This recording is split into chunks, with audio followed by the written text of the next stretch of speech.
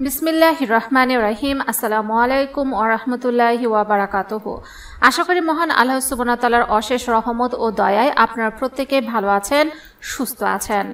সকালবেলা ফজরের নামাজের পর অর্থবহ চারটি কালেমার জিকিরের কথা উল্লেখ করা হয়েছে, যা প্রতিদান প্রাপ্তিতে অতুলনীয়, যা সকালের পুরো সময় ধরে ইবাদতের চেয়ে ওজনে ভারী।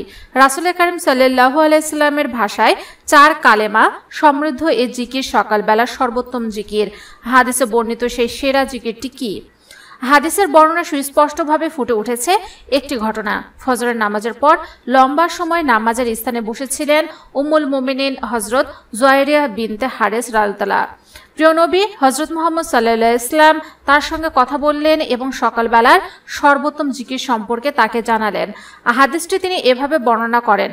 উমুল মোমানিন হজরত জুয়ারিয়া রালতলা আনহা বর্ণনা করেছেন, রাসুল করিম সাল্লাহ ইসলাম প্রতুষে ফজরের নামাজ শেষ করে তার কাছ থেকে বের হলেন। যখন তিনি ফজরের নামাজ আদায় করলেন এবং তিনি নামাজের জায়গায় ছিলেন। এরপর তিনি দোহার পরে সূর্য ওঠার বেশ কিছুক্ষণ সময় পর ফিরে এলেন। তখনও তিনি নামাজেই বসেছিলেন। প্রিয়নবী হজরত মোহাম্মদ সাল্লাহ ইসলাম বললেন, আমি তোমাকে যে অবস্থায় রেখে গিয়েছিলাম, তুমি কি সে অবস্থাতেই আছো? তিনি বললেন হ্যাঁ ইয়া রাসুলাল্লাহ সাল্লাহ আলাইসাল্লাম তখন রাসুল্লাহ কারিম সাল্লাম বলেন আমি তোমার কাছ থেকে যাওয়ার পর চারটি কালেমা তিনবার পড়েছি। আজকে তুমি এ পর্যন্ত যা বলেছ, তার সঙ্গে ওজন করলে এই কালেমা চারটির ওজনই বেশি হবে। কালেমাগুলো হলো বিসমিল্লাহ রহমান রাহিম সুবানাল্লাহি ওয়া বিহামদিহি, আদাদা খালকিহি, ওয়া রিদা নাফসিহি, ওয়া জিনাতা আরশিহি, ওয়া মিদাদা কালিমাতিহি। অর্থাৎ আল্লাহ পবিত্র আর সকল প্রশংসাও তার। এ পবিত্রতা এবং প্রশংসা তার সৃষ্ট বস্তু সমান, তার নিজের সন্তুষ্টির সমান। পবিত্রতা এবং প্রশংসায় তিনি তার আরসের ওজনের সমান। পবিত্রতা ও প্রশংসায় তিনি তার বাণীসমূহ লেখার কালির পরিমাণের সমান।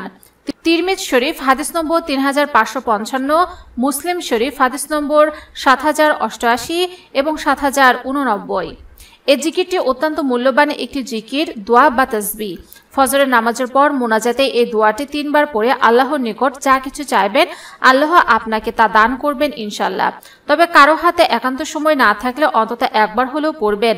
তাহলে আল্লাহ তালা আপনার মনের সকল আশা পূরণ করবেন ইনশাল্লাহ তাই সকল মুমিন মুসলমানের উচিত ফজর নামাজের পর হাদিসে উল্লেখিত কালেমা দ্বারা মহান আল্লাহর প্রশংসা করা, আল্লাহর পবিত্রতা ও প্রশংসা বর্ণনায় সবার হওয়া, আর তাতেই মিলবে প্রকৃত সফলতা।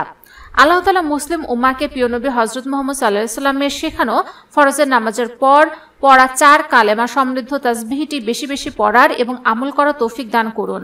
আমিন। তো প্রিয় দর্শক, জানার সাথে দাওয়াতি কাজের স্বার্থে ভিডিওটি অবশ্যই শেয়ার করে ছড়িয়ে দিন ও হতে পারে আপনার একটা শেয়ারে বহু মানুষ উপকৃত হবে ইনশাল্লাহ যারা এই প্রথম আমাদের ভিডিও দেখছেন, অনুগ্রহ করে আমাদের চ্যানেলে সাবস্ক্রাইব করে রাখবেন এবং পাশে থাকা নোটিফিকেশন বেলটি অন করে দিন, যাতে করে এরকম ভিডিও দেওয়ার সাথে সাথে আপনার নিকট সহজে পৌঁছে যায়। আল্লাহ আমাদের সবাইকে যেন ভালো রাখেন, সুস্থ রাখেন, এই কামনায় আজকের ভিডিও এখানেই সমাপ্ত।